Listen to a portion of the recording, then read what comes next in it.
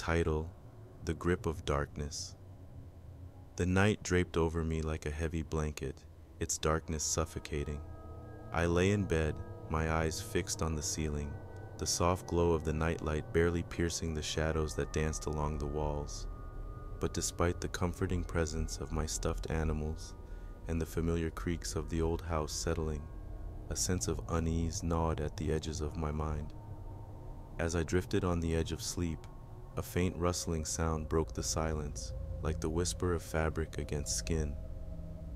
My heart quickened and I froze, straining to listen. There it was again, the sound of movement coming from somewhere beneath the bed. Terror gripped me, rooting me to the spot as I fought against the impulse to flee. With trembling hands, I reached for the flashlight on my nightstand, steeling myself for what I might find. But before I could act, a cold, clammy hand closed around my ankle, pulling me down into the darkness below. I screamed, my voice echoing through the silent house as I struggled against the grip that held me captive. With every ounce of strength I could muster, I kicked and thrashed, desperate to break free from the creature's grasp. But its hold was relentless, its fingers like iron bands around my ankle as it dragged me deeper into the shadows.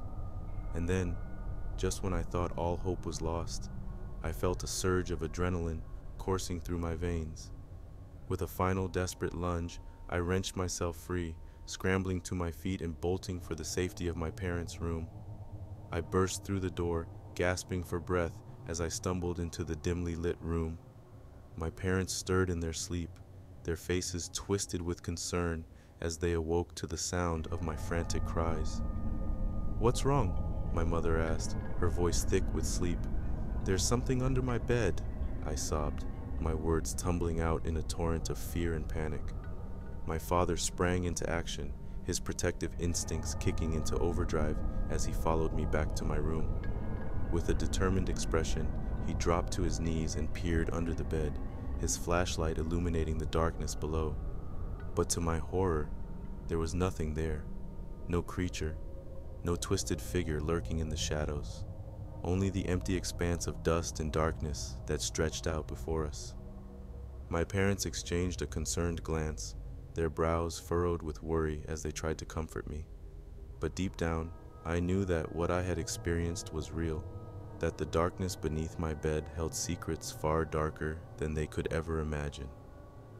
As I lay there, trembling and shaken, I couldn't shake the feeling that something was still watching me, that the creature was biding its time, waiting for the perfect moment to strike once more.